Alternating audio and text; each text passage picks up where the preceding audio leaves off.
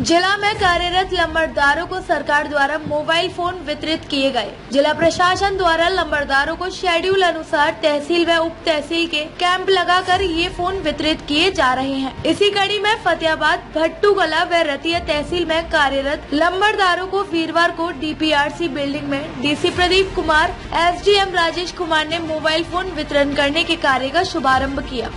DC Pradeep Kumar ने कहा कि लंबरदारों को सरकार की हिदायतों अनुसार नौ हज़ार रूपए की राशि का फ़ोन दिया जाएगा।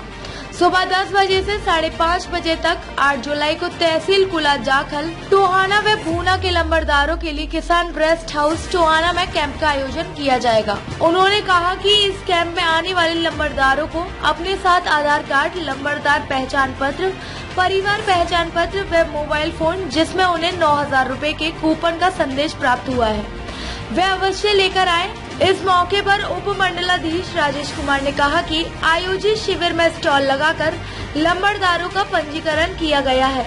उन्होंने बताया कि जिन लंबरदारों ने लावा कंपनी फ़ोन की इच्छा जताई है, उन्हें फ़ोन दिया गया है।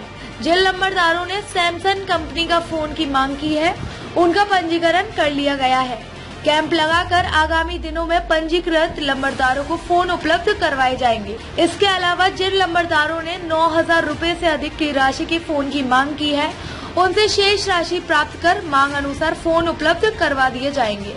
इस अवसर पर तहसीलदार रणविजय सुल्तानिया विजय सियाल सहित अन्य अधिकारी व कर्मचारी उपस्थित रहे।